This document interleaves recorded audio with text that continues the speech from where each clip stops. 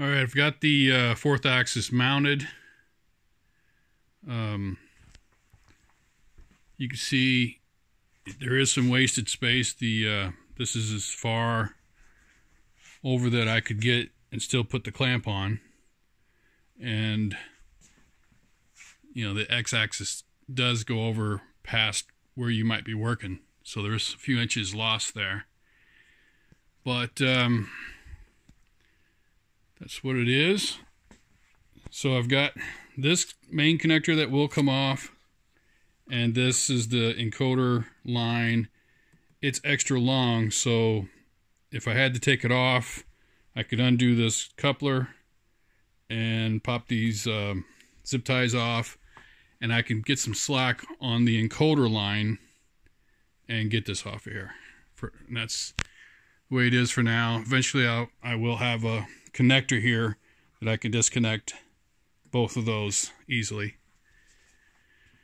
So what I've got is, oh yeah, on the air, the air I'm going to put an elbow on this here instead of this.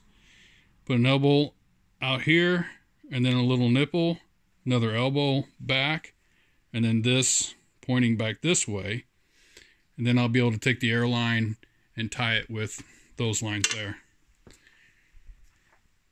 And so right now it's just kind of looping up into uh, the top of the box where I've got uh, a lid that I will make a, a connector plug for that. And it's just chained to the roof. Uh, eventually I might put a um, spring up there and a better connection here so that it doesn't uh, rub. But something um, to that I can lock in there and you know just take the abrasion out of it. Um, yeah, let me climb up here.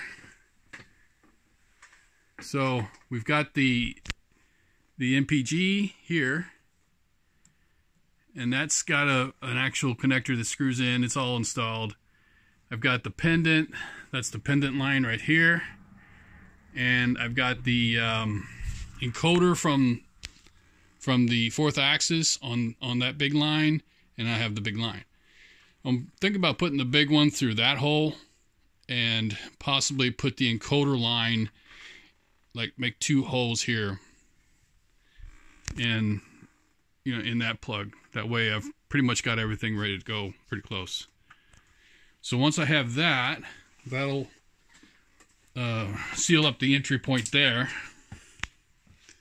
Then, let's get a little bright here. Then this this area here, so that'll get locked down, and this is that main line, and I'll cinch this up nice and tight, and uh, run it through this panel here. Once I get that panel done, then this right now, this has extra line on it. And it will, um, it goes into that terminal block there. So once I get all this squared away, which I, I made one a while back, but I must have messed it up because I think I put the fan too high and it there's a lip up there and it didn't didn't go through the hole. So I'm going to probably redo this. And I made slots in the bottom for wires to go through. I'm going to put holes like the other stuff so it's a little more of a seal because I want to push air I want to push air through that tunnel onto the computer or that's the monitor and computer built into one so it's going to hit that and then it will push its way up and around and push the heat out these slots that I cut last year. So anyway, the wires, wiring, that's just like in the um, in the fourth axis. These are the the limit switches showing that uh, the brake is on or off. This is the home switch. These are the uh, the solenoid. For some reason I had two lines for uh, servo positive and two for negative. So one of them is here, one of them is here. This one is um, hmm, these two. These are them little white ones. So probably won't even be using these for a while until I figure something out. But they're they're they're ready to go. This is my home switch. It's already wired up. It's just temporary until I get a path. I'm going to move this terminal block, shorten it, and move it down. I'm going to make a, a two inch spot and then maybe like an inch for wiring and then another two inch spot. So about five inches from here to there. But this is going to be down here. So it's going to clear this up. And this wire right now, which this is coming out of my out of this line here, these are my servo uh, power from my fourth axis driver. They go down, they go out to the to the servo. So this is positive, negative, and ground.